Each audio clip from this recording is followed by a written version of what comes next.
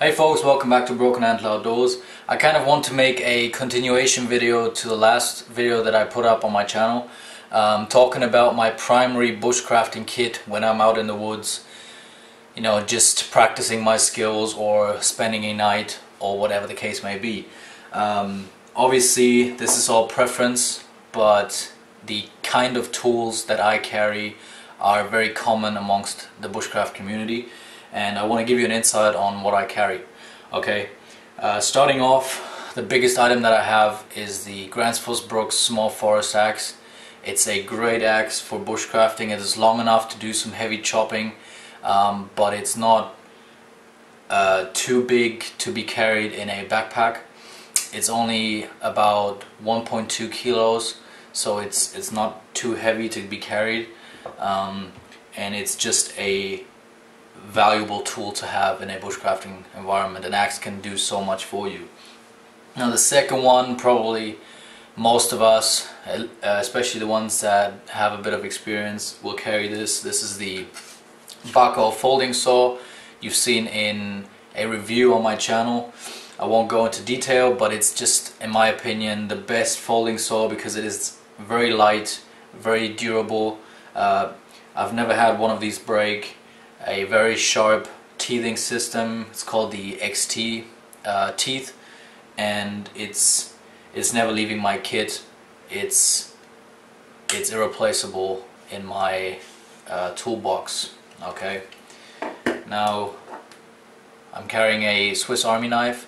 This is actually a very old knife. This has been given to me by my mom and she she had this blade when she was a kid um, so it has a very uh, distinct family history and it's still still a great tool to have and it's so light and small that I will carry this in my pocket. May it be my um, my chest pocket on my shirt or my trouser pocket or whatever but I have you know a small blade. I have a small saw. Um, very important I have an awl on this so I can you know punch holes into wood and other material. I have a can opener. If I, you know, carry uh, rations with me, I can open the can. And I have a bottle opener, um, which I end up using the least. But if you have a few beers, you know, you have a bottle opener as well. Um, now coming to my primary uh, cutting tool. This is my uh, custom sheath made for my Fällkniven F1. Now you have seen this in, in videos before so I as well won't go into detail. But the sheath has a uh, pouch on the top carries a sharpening stone. It's the Fällkniven DC4 in my opinion this is one of the best compact sharpening stones you can find. It's diamond sided on one and a ceramic side on the other. Uh, this takes care of all my sharpening needs in the field I have my leather belt as well for stropping. Um, and it also has a fire steel on the bottom okay? So I have combustion and fire with me all the time on my belt. And the last tool that I carry is a Leatherman multi-tool. Now this is a bit unconventional. This is the uh, OHT or also called one-handed tool made by Leatherman. This is one of the newer models. Uh, kind of leaves the old system of Leatherman tools behind. You have a different opening system for this. I will make a review on this because it is a very cool tool to use. Um, more suited to military or law enforcement use, but I I just like the way this tool handles itself. You know, it has has the pliers, has the uh, wire cutters, and has a bunch of different tools kind of overlapping with my Swiss Army knife, but I always have a backup tool I have a saw and I have a serrated blade. And then um, I also have a belt cutter uh, screwdriver. Um, actually three screwdrivers. One is a Phillips two are flatheads and uh, a can opener as well okay? Um, but the pliers are why I carry this tool in the first place and this is my primary bushcrafting tool. Now if you've seen my previous video you know that I will keep all of this um, pretty much the same. Sometimes I will exchange my primary cutting blade. Um, I will sometimes instead of the Fällkniven carry my Tops Fieldcraft beautiful blade uh, very usable design um, I started carrying the Habilis Bush Tools Pathfinder trade knife uh, a lot recently just because I have taken the time to resharpen and reprofile the blade.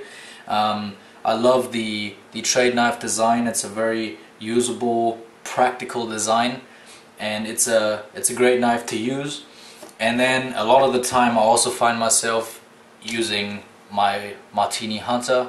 Um, this is a weaker design compared to the other three. It only has a rat tail tang um, still a beautiful blade to use for batoning and other uh, things like that I have my my axe uh, so I won't won't need to do heavy work with this anyway. This is more for carving, making feather sticks, and it excels at this because it has a Scandi ground blade, uh, quite a narrow spine, so uh, you get the curls done very very well.